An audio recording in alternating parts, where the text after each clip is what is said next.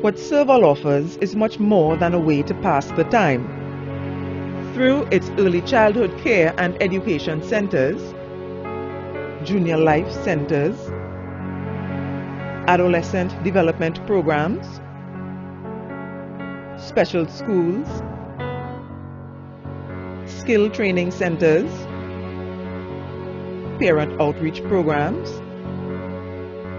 high-tech centers, advanced skills center, and its 600 member staff, this beacon of hope has brought more than 70,000 trainees to Safe Harbor and has given them a second chance.